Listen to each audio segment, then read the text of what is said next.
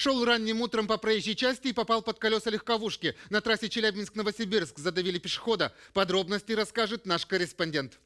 Сегодня, 20 октября, э, в районе 6 утра на автодороге Челябинск-Новосибирск, 24 километр,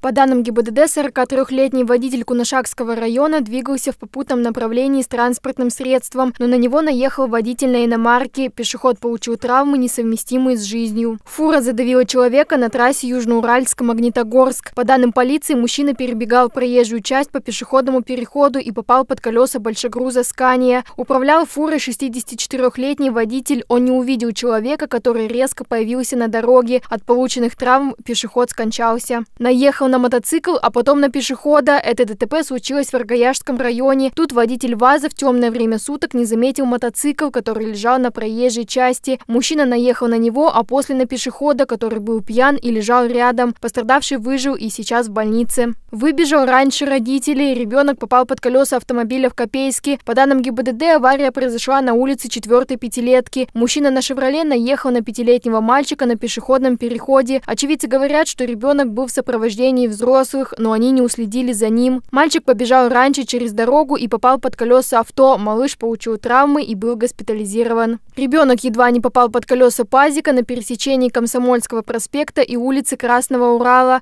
Судя по кадрам, пешеходам загорелся зеленый сигнал светофора, но слева от них едет маршрутчик. Девочка транспорт не заметила и побежала через дорогу и едва не попала под колеса. Оба понадеялись, что машин не будет. Эта авария произошла на пересечении улиц братьев Кашириных и Каслинская. Судя по кадрам, водитель поворачивал налево и не убедился в безопасности маневра. В итоге удар. Трамваи встали на теплотехе. Очевидцы сообщают, что пути занял автомобиль. Из-за этого движение вагонов остановилось. Как именно произошла авария, выясняют инспекторы ГАИ.